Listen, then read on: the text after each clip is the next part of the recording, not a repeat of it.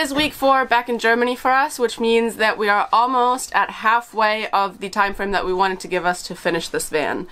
That means that we need to get going this week on finishing up the kitchen so that next week we can start on the bed, which is the last like area in our van that needs to get finished. So let's get going. So the state of the kitchen is quite jumbled. There are some sides that have drawers, some that don't, some that need drawers removed there's a lot going on. So we're going to start with this side and concentrate on this. Once that is finished, we'll move on and make our way around the kitchen. So if you saw last week's video, you uh, will know the problem that we have with this drawer. We had to cut a piece off and then the whole front broke, so we needed to put a new front on it, which is also why this one isn't painted and the rest is.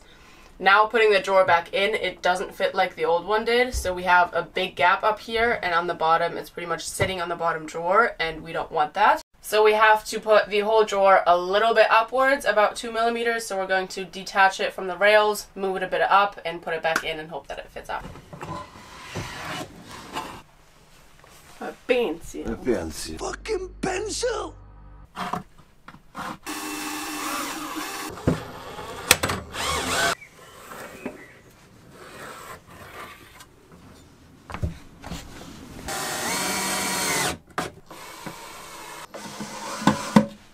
We gave them another sanding down, we fit that one improperly and now it should be ready to go.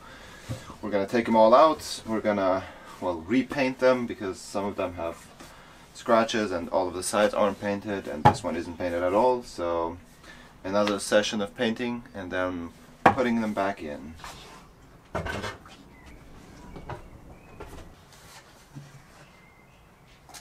Now that we are finished with this side for now, we are going to move over to the other side. Here you can see that I already took out two of the drawers because we had some troubles with our fridge since they kind of collided.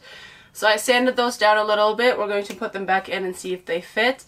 And then they're kind of all over the place and since we want this to be like our last time putting them in, we want them to fit perfectly. Perfectly, so we need to kind of So we need to kind of make adjustments so that they all have the same gaps in between them and then we should be okay with this side.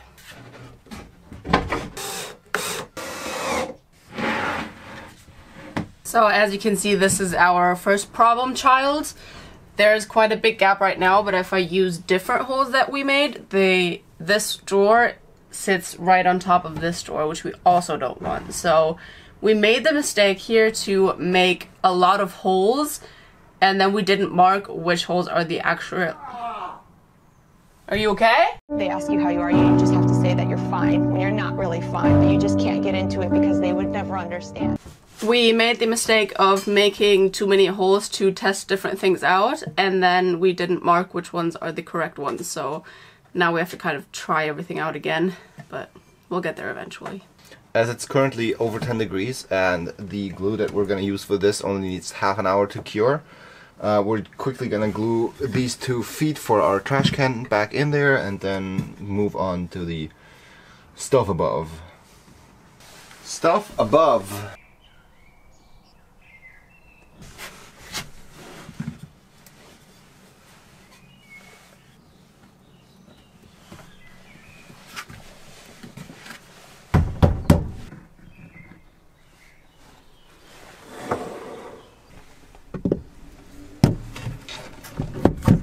We put all the rest of the drawers back in and they actually fit for one, so that's a win. We now just have to finish making the rest that currently looks empty. For here, we have a front that we're just going to glue in since there is not a drawer there because you don't have any room behind it. We already cut a piece that should fit in there, but we just have to like make some adjustments to see if it actually fits before we can paint it. And then also we still have to fix this situation. because if you know from our last video, we are going to glue this on top of this drawer so that it looks like it's two drawers, but it's actually one. And we just still need to make like the construction of this. So these are actually not fully staying in here yet. We do have to take this one back out, but but I don't think it should be too much of a deal. So let's get going.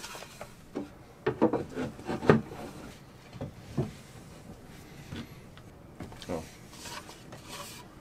Put it in this way. Where it says unten is not down. That's what I, that's what we talked about though. No, I said. Yes, we said up is down. He's on to it. No, You got No, we didn't. confused. we did not say that Up. at all. it's down. That's very tight. Okay. So other way. So down is down. Down because is this down. is ugly. So what do I do? Just sand it down a little bit where it says unten. Down. So You can also sand left. up. It doesn't really matter. I can't sand up. I can only sand down. Yes. So as you saw, it doesn't fit 100%, but like it's pretty close. So Robin is just going to do a little teeny bit of sanding, and then it should be able to fit. It fits in here. We can open and close our fridge without problems, which is always good. So we're going to take this out, paint it, and we now only have our trash can part left, but we're going to worry about that tomorrow. Now that the uh, parts where we want to screw our trash can drawer onto is finished, we are going to attempt to actually put the drawer in. We are not 100% sure if that's going to be an easier or a hard task, but I guess we're going to find out. it's gonna be hard.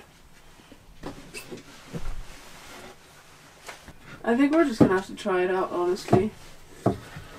I don't know if there is a way to actually know. Die Kleber dazwischen haben, dass das halt jetzt höher ist als das da. Which it is. Which is terrible. That's actually pretty bad. Maybe it works. I don't know. Maybe. You, never know with these things. We can try it out, but I highly doubt it.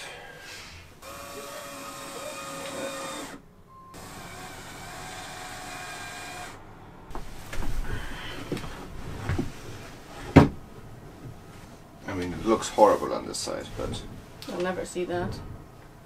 So we did manage to put it in so that it actually fits, which is kind of surprising, honestly. The only thing is, we don't really remember why we wanted to mount our trash can on the bottom and not like on the side like any other drawer that we did because this feels a little bit unsafe. Um, it is drooping a bit, and then if there's also a trash can and trash in it, we'll have to see how all this works out. But I guess it's staying like this for now. We do have to sand a little bit off of here and then paint it before we put it in finally. But that's kind of the way it's gonna look. It is finally time to put in our first set of drawers permanently, which will make the kitchen look a lot more finished, so I'm very excited about that.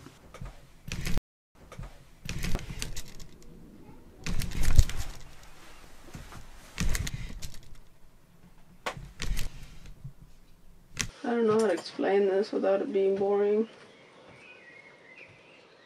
then don't. Okay.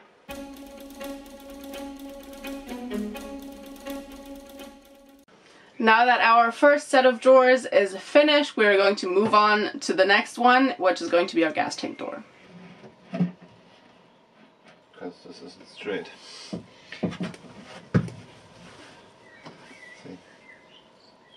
That's gonna be a problem. That's what we're testing. Maybe it's the right amount of amount of slant. Yeah, but Do you want me to do something side? yes, do something silent. Okay. Halt die Fresse.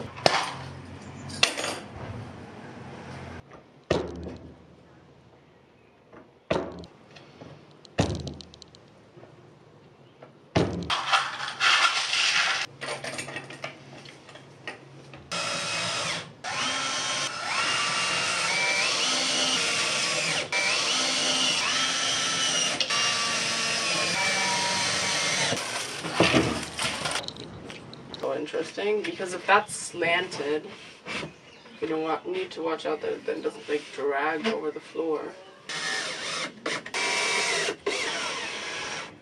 Can you check how much the gas tank box opens?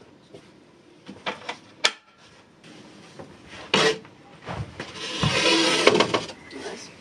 Exactly how much we anticipated. That's good stuff. Yeah, that's gonna be okay. Very tight. Alright. But alright. This day has once again made a turn for the worse, and I don't want to deal with it anymore. Um, so, this door was too wide in the beginning, so it was like colliding with the drawers. So, we just measured out how much we need to take off, took that off, and now it's way too small. we did not account for it being like at an angle. We kind of measured it as if it was a straight drawer and now realize that you can't do that.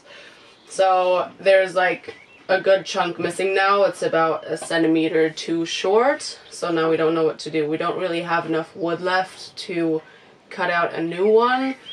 It's also not very easy or accurate to just glue the part back on. So we're gonna have to brainstorm what we'll do with the store or maybe just kind of be annoyed by it, get over it, and then decide something. Yeah. I had high hopes that today we'll just finish this door so we would be able to paint it and just properly put it in tomorrow, but I guess that's not happening today. So we've decided to not make any too quick decisions considering our door since that might lead to more problems. So we're going to sleep a night and think about it. And for now we're going to do something that's hopefully a little bit more fun and more straightforward, which is putting knobs onto our drawers. So since we've started to take the easiest way we can think of, we are going to make our knobs all in the center and then five centimeters from the top. So we are going to measure out the center of the top, the center of the bottom, and then just draw a line down the drawers. So at least if it's like slanted, it looks like it's in one straight line rather than everything being like all over the place. So we're first going to draw on where we think that the knobs will go and then we'll go from there. I think I like them like this. Do you want the pointy bit up? How do you like them? I would put them in and then we'll see. Why don't we do like different ones? No. No? Just do everything on like a slightly crooked angle. No, so Like, it's like but it like- turns. So like that, and then you go like this, and then you go like. You know, that only works here. Everything else is gonna be wild. I don't care. No. Okay, so we put them in first. You must decide. You must decide. In the garage. In the garage.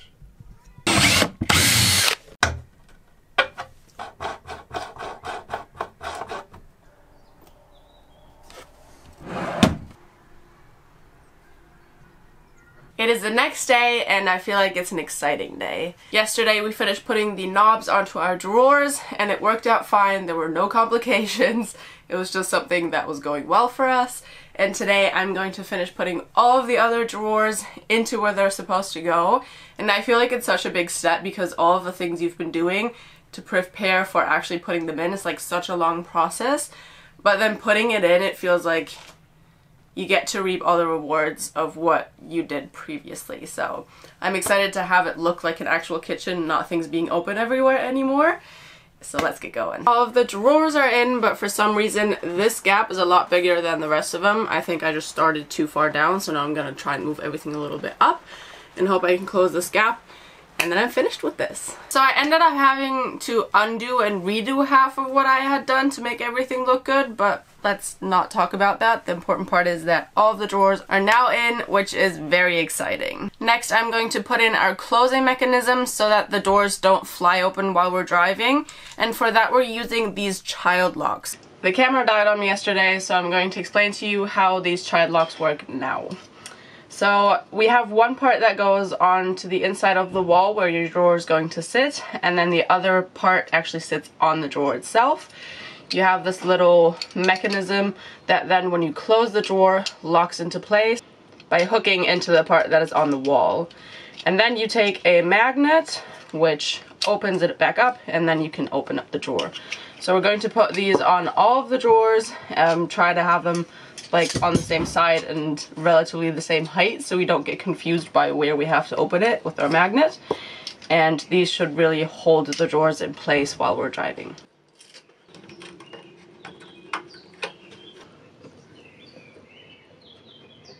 So this is a drawer that opens normally. Now we can close the lock and it doesn't, obviously there's like a little room where it can move, but it doesn't open anymore. Press the magnet to it and we can open it back up.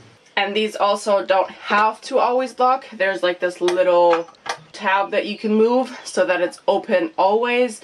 So when we're stationary, we can just open them so you don't have the hassle of like having to put a magnet to it every time. And then when we want to leave, we'll just close it and everything is shut. Time to put the rest of the knobs onto these drawers.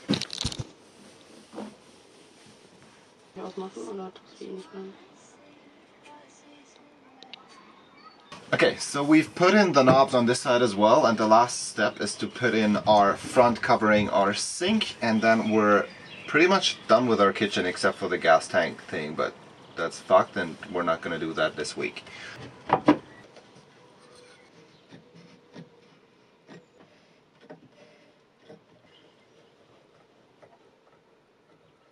Our last piece is in and that pretty much concludes our kitchen build. This has probably been one of the hardest challenges. It's just been very complex with a lot of things not adding up as we wanted, but in the end we made it work. It's not as nice as I wanted to, but well, it's gonna probably break anyways at some point, so we will keep it as it is and then we'll move on to the bed, which is the last big project next week, and then we'll see if we make it in four weeks or if we have to extend again.